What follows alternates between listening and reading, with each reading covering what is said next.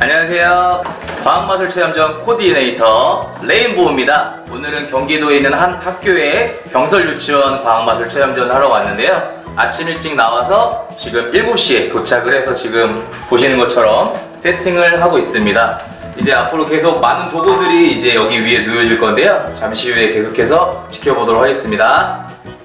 보시는 것처럼 우리 선생님들은요 퇴근하시기 전에 교실을 이렇게 깨끗하게 어, 가운데를 비워 주시고요 책상과 의자만 네, 벽 쪽으로 몰아놔 주시면 제가 책상을 이렇게 네, 가운데다가 디귿자 형태로 세팅을 할 거고요 그 위에다 아, 테이블보를 깔고 네, 도구들을 세팅하도록 하겠습니다.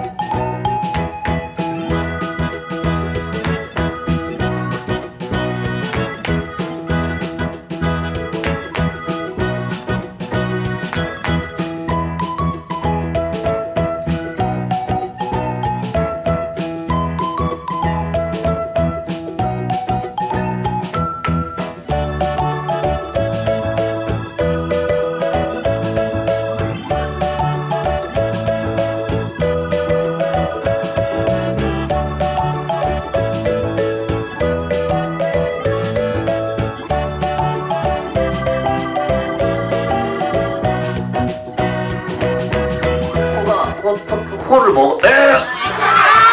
친구들 코딱지 먹으면 돼안돼요 아, 친구들하고 인사해보자. 빵꾸. 다시 한번 인사해보자. 뿅. 우와 재밌어. 우리다. 이 친구들은 불장난을 하면 돼야 돼요.